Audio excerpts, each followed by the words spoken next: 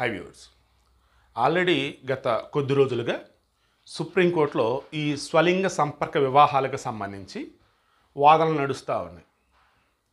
కేంద్రం క్లియర్గా చెప్పింది.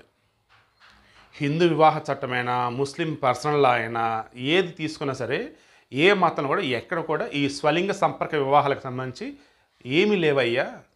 లేనిపోయిన తలనొప్పులు వద్దు స్వలింగ సంపర్క మీరు ఎలా చేయొద్దు ఆపేశాడని చెప్పేసి కేంద్రం క్లియర్గా కోర్టుకు చెప్పాం.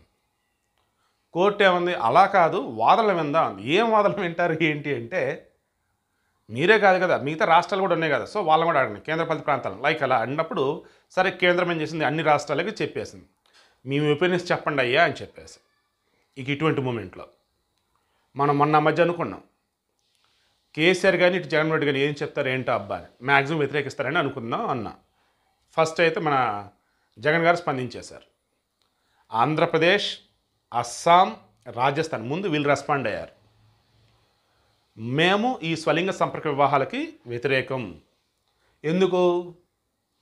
చట్ట ప్రకారం ఏదైనా ప్రొసీడ్ అవ్వాలి అన్నా ఎక్కడ కూడా దానికి సంబంధించి ప్రత్యేకంగా ఏమీ లేవు. సో అన్ని కొత్త తల నొప్పులు వస్తాయి. కాబట్టి వద్దు అన్నారు. జగన్ అయితే ఏకంగా మేము అన్ని మతాధిపతులని మతాధికారులని పెద్ద పెద్ద ప్రముఖులని అందరి దగ్గర ఒపీనియన్ తీసుకున్నాం. ఒక్కళ్ళు కూడా ఈ స్వలింగ సంపర్క వివాహాలని ఎలా చెప్పని ఎవరో చెప్పలే. కాబట్టి వద్దు అని చెప్పేశారు. ఇప్పుడు వరకు ఎవరెవరు?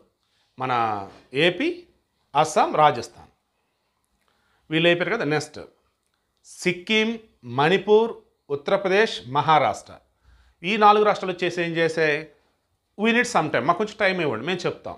ఇమీడియట్గా అంటే వద్దు అనేసి వాళ్ళు అన్నారు. ఇక మిగతా రాష్ట్రాలు ఇంకా రెస్పాండ్ అయితే కాల.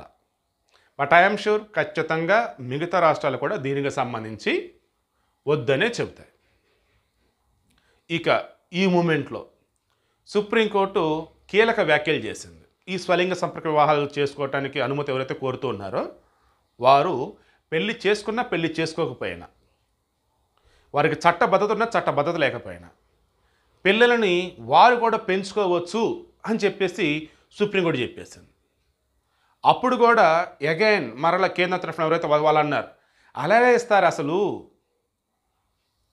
పిల్లల్ని వాళ్ళు పెంచేటప్పుడు ఆడ మగ అట్రాక్షన్ అన్న వేలో కావచ్చు రిలేషన్ అన్న వేలో కూడా చూపించాలి.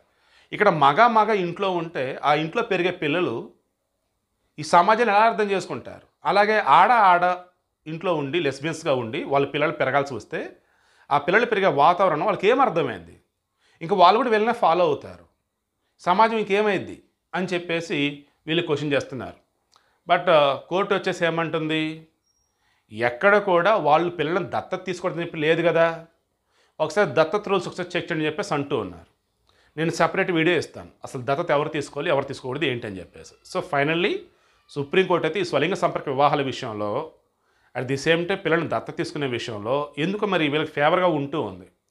ఎంత మానవత్వం ఉన్నా అత్యున్నత న్యాయస్థానం అన్నప్పుడు ఆ దేశానికి సంబంధించి మొత్తం కూడా పరిశీలించాలి. బట్ ఇప్పుడైనా చంద్రచూడ్ గారు కావచ్చు ఆయన యొక్క బెంచ్లో ఉన్నటువంటి మిగతా వాళ్ళు కావచ్చు ఈ విషయం మాత్రం కొంచెం తొందరపడుతున్నారు వేరే రూట్లో వెళ్తానని చెప్పి చాలామంది కూడా అంటూ ఉన్నారు. మీకేమనిపిస్తుంది? స్వలింగ సంపర్క వివాహాన్ని అనుమతించాలా? అదేవిధంగా పిల్లల్ని వాళ్ళు దత్తత తీసుకునే అనుమతించాలా? కింద కామెంట్లో తెలియచేయండి.